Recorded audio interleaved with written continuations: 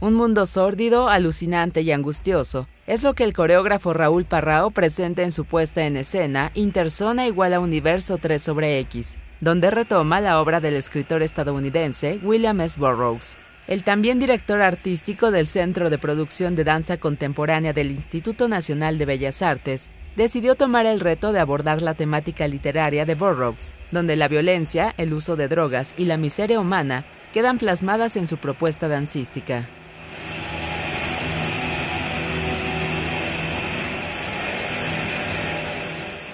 A través de movimientos caóticos e incomprensibles, se intenta penetrar no solo en la obra de Burroughs, sino explorar la propia mente de este escritor que perteneció a la generación Beat. Se trata de un sujeto fragmentado, en conflicto consigo mismo, y que cargó con la culpa de haber matado a su esposa al fallar un disparo. De acuerdo a Parrao, intersona igual a universo 3 sobre X, tiene el propósito de provocar al espectador, llevarlo a los extremos, porque bajo una propuesta incomprensible, la imagen y fonética tienden a provocar diversas sensaciones que pueden ir del gozo a la incertidumbre, o del enojo al miedo, pues la danza va dirigida más hacia la psique que hacia la razón.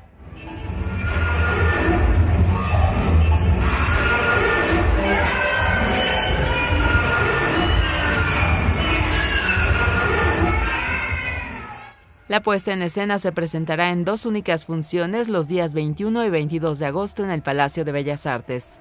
Con información de Raúl Adorno e imágenes de Jaime López. Notimex.